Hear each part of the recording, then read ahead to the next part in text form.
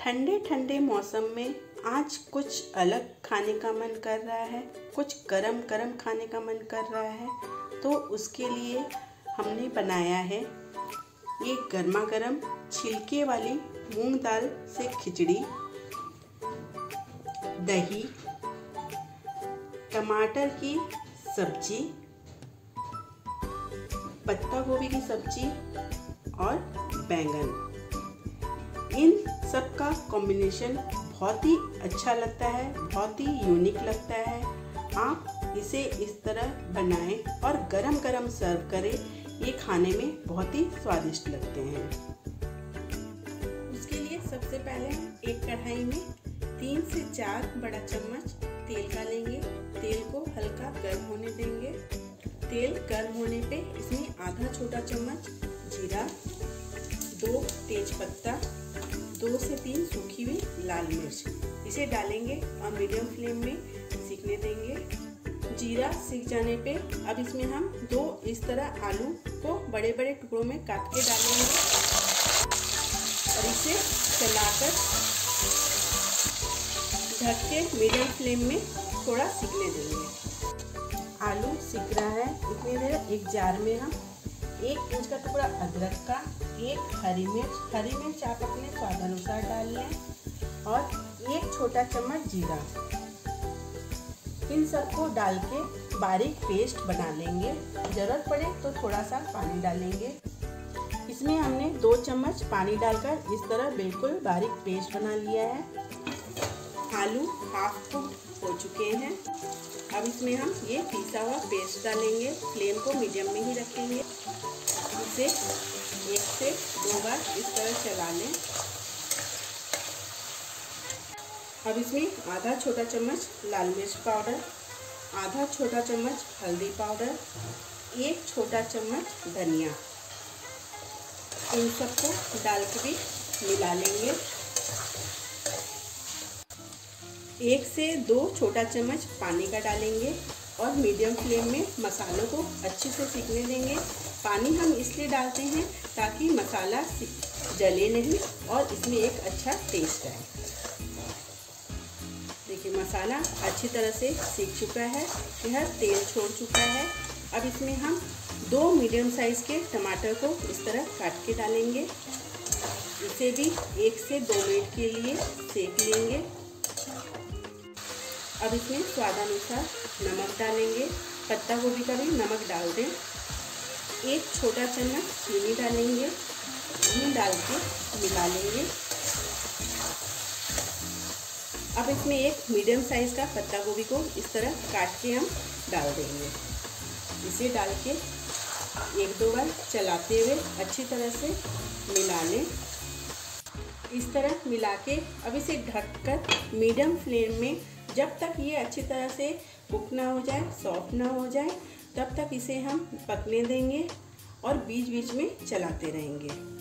पत्ता गोभी बन रहा है। इतनी देर हम टमाटर की सब्ज़ी की तैयारी कर लेते हैं। उसके लिए हमने सबसे पहले पाँच टमाटर को आधे टुकड़ों में काट कर प्रेशर कुकर में एक सीटी हाई फ्लेम पे और दो सीटी लो फ्लेम पे वन फोर्थ कप पानी डालकर बॉईल कर लिया है। अब इसे निकाल के हम अच्छी तरह से ठंडा होने देंगे। एक साइड हमने दो हरी मिर्च आधा इंच का टुकड़ा अदरक का 10 से 15 किशमिश थोड़े से आम पापड़े को इस तरह बड़े बड़े टुकड़ों में काट लिया है। चार छुहारा को हमने पानी में उबाल कर छोड़ दिया था। ये अच्छी तरह से भीग चुके हैं। इन्हें भी अब हम काट लेंगे। ऊपर से निकाल ले और बीज को अलग करें और इसे इस तरह बड़े बड़े टुकड़ों में काट लें। छुआरों को इस तरह काट कर तैयार कर लें। इस तरह छुआरा को काट लें। पत्ता गोभी को बीच बीच में चलाते रहें। टमाटर ठंडा होने पे अब हम इस तरह छिलकों को निकाल के अलग कर देंगे। सारे छिलकों को निकाल के इन्हें हम अच्छी तरह से मैश कर लेंगे। इस तरह मैश करके अब हम फिर से एक और कढ़ाई में दो से तीन बड़ा चम्मच तेल का गर्म करेंगे। तेल गर्म होने पे अब इसमें हम पचफोरन का छौकन डालेंगे, जिसमें कि सौंफ, जीरा, राई, काला जीरा और मेथी मिलाई जाती है।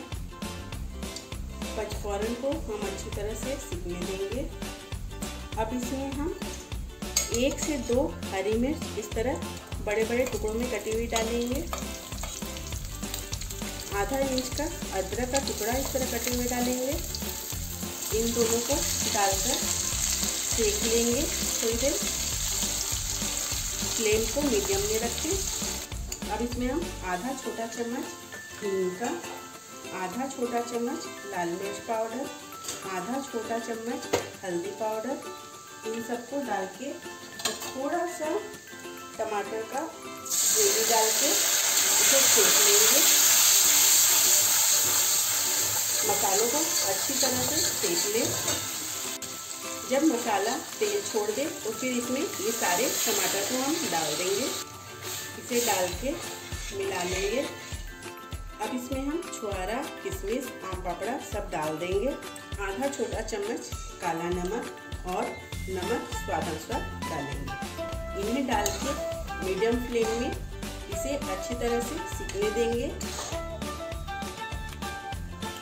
पत्ता गोभी को बीच बीच में चलाते रहें और टमाटर को भी बीच बीच में चलाते रहें। जब टमाटर बॉयल होना स्टार्ट हो जाए, तब इसमें हम एक चौथाई का गुड़ डालेंगे। गुड़ को बारीक काट के डालें। आप चाहें तो चीनी भी डाल सकते हैं, पर आज हम इसे गुड़ डालकर बना रहे हैं। अब फिर से इसे हम थोड़ी देर बॉयल होने देंगे। एक साइड हमारा पत्ता गोभी भी हो रहा है। और एक साइड टमाटर भी बॉईल हो रहा है। हमारा टमाटर भी तैयार हो चुका है। गैस को बंद करें और पत्ता गोभी भी रेडी है। अब इस गैस को भी बंद करें। दोनों सब्ज़ी हमारी तैयार हो चुकी है। अब हम दही तैयार करेंगे। आप सोच रहे होंगे, दही भी कैसे तैयार किया जाता है? उसके लिए हमने दही को 10 मिनट पहले इस तरह चलने में डालकर छोड़ दिया था। इसमें जो ये एक्सेस पानी होता है, इसे निकाल दिया। बहुत ज़्यादा पानी ना निकालें, बस थोड़ा ही पानी निकालें। अब इसे हम एक बाउल में इस तरह छान कर निकाल लेंगे। अब इसमें हम स्वादानुसार नमक, आधा छोटा चम्मच काला नमक, आधा छोटा चम्मच सेका हुआ जीरा, इन सबको डाल के अच्छी तरह से मिला लेंगे। एक छोटा चम्मच पीसी हुई चीनी। इसे भी डाल के अच्छी तरह से मिला लें। अब तड़का के लिए हम एक छोटा चम्मच तेल को गर्म होने देंगे। आधा छोटा चम्मच छोटी वाली राई डालेंगे। एक बारीक कटा हुआ हरा मिर्च डालेंगे और कुछ करी पत्ते डालेंगे। इन्हें डाल के थोड़ा सेक लेंगे। फ्लेम को लो टू मीडियम रखें। इस तरह चलाते हुए इन्हें सेक लें। ये सीख जाने पे अब गैस को हम बंद करेंगे और आधा छोटा चम्मच लाल मिर्च डाल के इसमें मिला देंगे। गैस को बंद कर कर लाल मिर्च डालें। अब इस छौकन को हम दही में डालकर मिला देंगे। ये हमारी दही भी तैयार है।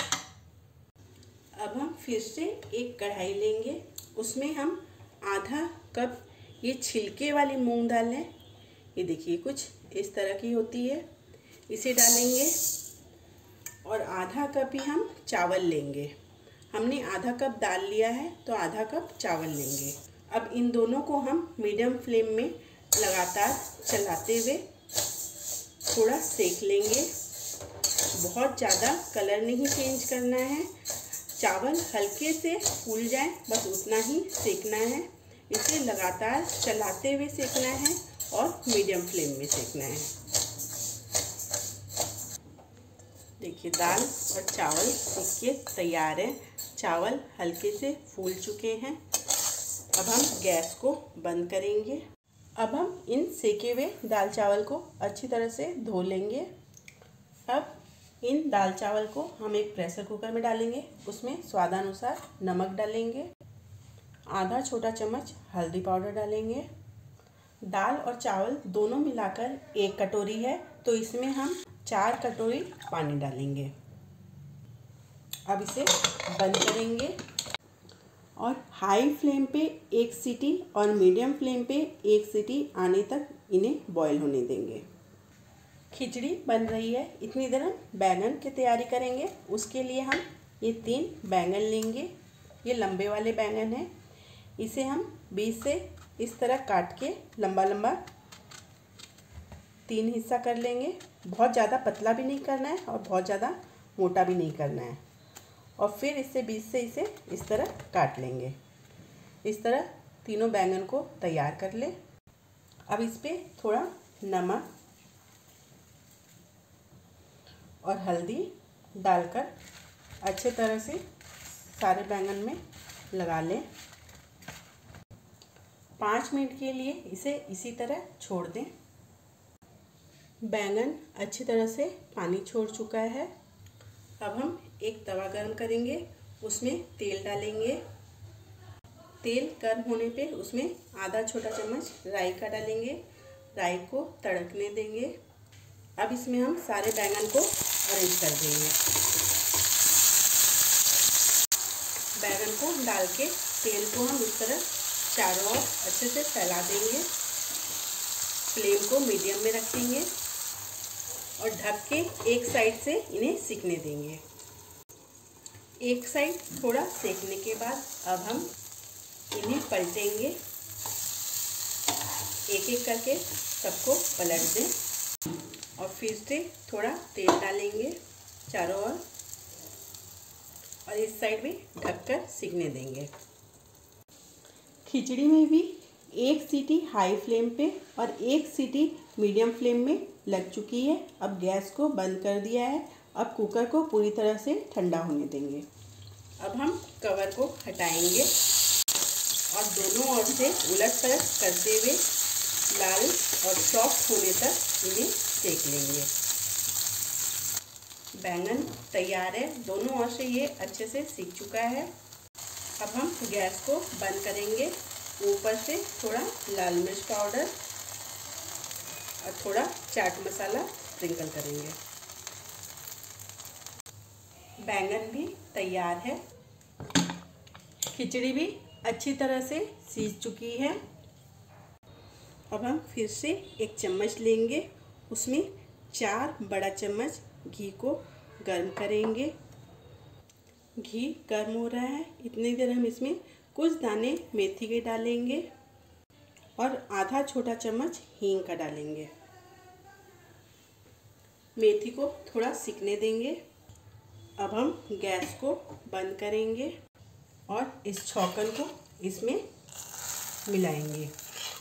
हींग और मेथी देने से खिचड़ी खाने से गैस नहीं होती है किसी किसी को खिचड़ी से गैस होती है। पर इस तरह अगर हम छौकन में मेथी और हींग डाल देंगे तो खिचड़ी किसी को गैस नहीं करेगी।